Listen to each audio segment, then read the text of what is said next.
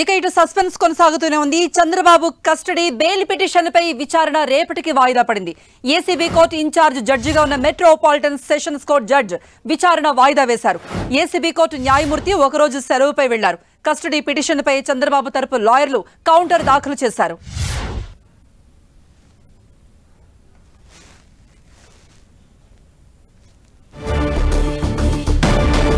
ఇక దీనిపై మరిన్ని అప్డేట్స్ ఇవ్వడానికి మా ప్రతినిధి తిరుమలరావు సిద్ధంగా ఉన్నారు. లైవ్లో జాయిన్ అవుతున్నారు. తిరుమలరావు రేపు విచారణకు వచ్చే అవకాశం ఉందా?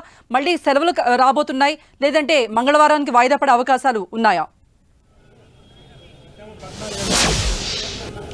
కృప ఏదైతే ఉందో కొద్దిసేపటి క్రితమే విజయవాడ ఏసీబీ కోర్టు న్యాయమూర్తి సెలవు ప్రకటిస్తే ఇది ఎంఎస్జే కోర్టులోకి ఈ కేసు వెళ్ళడం జరిగింది. అయితే ఇరు వర్గాలకు సంబంధించిన న్యాయవాదులు ఎంఎస్జే కోర్టుకు రావడం జరిగింది. వచ్చి తమ వాదనలైతే వినిపించేందుకు ప్రయత్నించారు. అయితే కస్టడీ సంబంధించి ఇప్పటి వరకు పిటిషన్ కస్టడీ పిటిషన్ సంబంధించి ఇప్పటి వరకు టీడీపీ న్యాయవాదులు అయితే కౌంటర్ దాఖలు చేయలేదు. అదే దీని మీద కౌంటర్ దాఖలు చేశారు. కస్టడీ పిటిషన్ మీద టీడీపీ కౌంటర్ చేశారు. అయితే బెయిల్ పిటిషన్ మీద కూడా సంబంధించి కౌంటర్ దాఖలు చేయడానికి సిఐడి అధికారులు అయితే రావడం జరిగింది. ఫస్ట్ కస్టడీ పిటిషన్ మీదే దీని మీద వాదోపాదాలు వినాల్సి ఉందని చెప్పేసి సిఐడి తరపు న్యాయవాదులు అనగా ఇది ఫస్ట్ బెయిల్ పిటిషన్ మీదే తమ వాదనలు వినాలని చెప్పేసి ఎవరైతే ఉన్నారో చంద్రబాబు తరపు న్యాయవాదులు సుప్రీంకోర్టు సీనియర్ న్యాయవాది ప్రమోద్ కుమార్ దుబే మాట్లాడడం జరిగింది. అయితే ఇరు వర్గాలు మాటలు విన్న ఇది సంబంధించి ఏదైతే ఉందో ఎంఎస్జే న్యాయమూర్తి ఈ కేసును రేపటికి వాయిదా వేయడం జరిగింది. ఏదేమైనప్పటికీ ఈ కేసు సంబంధించి ఒక రోజు సెలవు పెట్టారు కాబట్టి ఇది రేపు ఏసీబీ కోర్టులోనే మీరు వాదనలు అయితే వినిపించండి అని చెప్పేసి